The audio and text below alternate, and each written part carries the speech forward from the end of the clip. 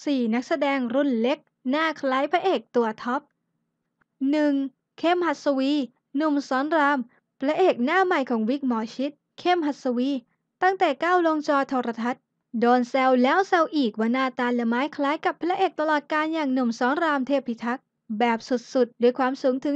185เซนติเมตร บวกกับใบหน้าคมสันแบบไทยๆ ไม่ว่าจะริมฝีปาก คิ้ว จมูก หรือดวงตา โดยรวมแล้วเรียกว่า ก็เหมือนเอาการอยู่ บางคนเรียกเขาว่าสอนรามสอง 2. เบนจามินโจเซฟวานีซันนี่สุวรรณเมธานนท์ต่อที่หนุ่มลูกครึ่งนักร้องนักแสดงสุดติสต์เบนจามินหนุ่มคนนี้อาจไม่ค่อยมีผลงานโดดเด่นมากตั้งแต่แรกๆ บางคนก็นึกหน้าออก แต่นึกชื่อเขาไม่ออก หนุ่มคนนี้ก้าวสู่วงการเวทีประกวดนักร้อง AF มาก่อน ตอนนั้นรู้จักกันในนามเบน AF7 ถูกพูดถึงมากอีกครั้งกับฝีมือการแสดงในผลงานเรื่องหัวใจไกลปืน 3. BP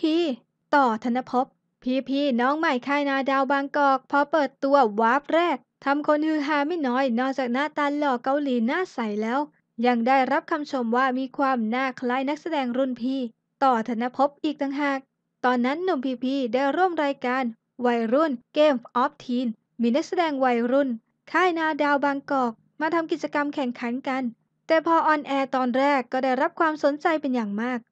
4. หลุยส์ เฮส สันณเดชน์ คูกิมิยะ เป็นพระเอกลูกครึ่งจ๋าเลยสำหรับหลุยส์ เฮส สัน มีหลายคนมองว่าเขานั้นน่าคุ้นๆ เหมือนพระเอกในวงการบางคนอยู่หลาย ๆ มุมเลย ซึ่งพระเอกคนนั้นไม่ใช่ใครที่ไหนไกลก็คือซุปตาร์รุ่นพี่แบรี่ณเดชคุกิมิยะนั่นเอง